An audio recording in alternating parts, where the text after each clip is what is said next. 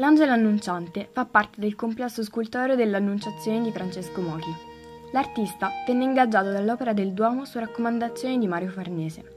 Fu scolpito nel 1603 e cinque anni dopo sarà affiancato dalla Vergine Annunciata. Rispetto a questa seconda realizzazione, una grande distanza sembra esserci tra le due figure e lo stile dell'angelo sembra più moderno, quasi anticipando il barocco.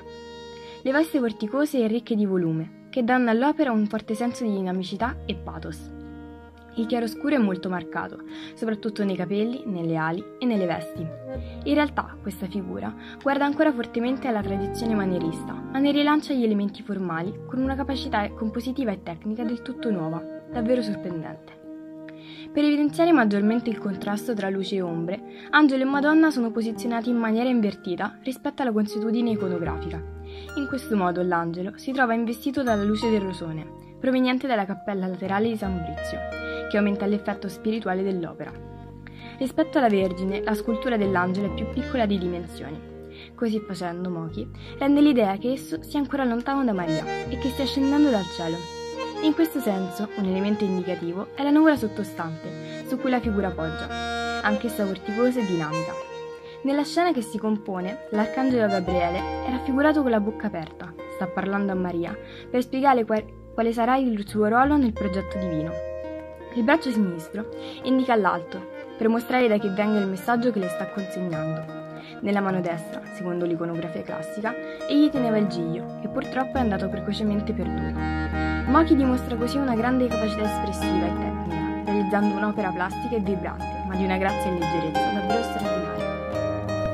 La Madonna fa parte dell'Annunciazione, gruppo scultorio realizzato da Francesco Mochi tra il 1605 e il 1608. La Madonna e l'Angelo sono posizionati accanto all'altare per tre importanti motivi.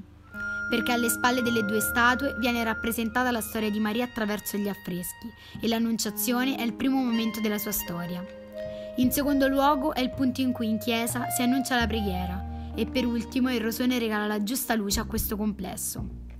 La Madonna viene rappresentata in piedi, mentre si sta alzando per fuggire dallo spavento per l'arrivo dell'angelo e avvicina con la mano la veste sul volto per proteggersi dai fasci di luce e dal forte vento. La bocca aperta e gli occhi sbarrati dalla paura sono le caratteristiche che differenziano questa Madonna da quelle tradizionali e rappresentano anche la sua giovane età. La figura della Madonna viene criticata perché è molto massiccia, viene rappresentata con vesti aderenti che sottolineano le sue forme, non rispettando i canoni tradizionali che la Chiesa ha concordato. Non è una Madonna convenzionale, anche perché vicino a lei c'è una semplice sedia e non un trono.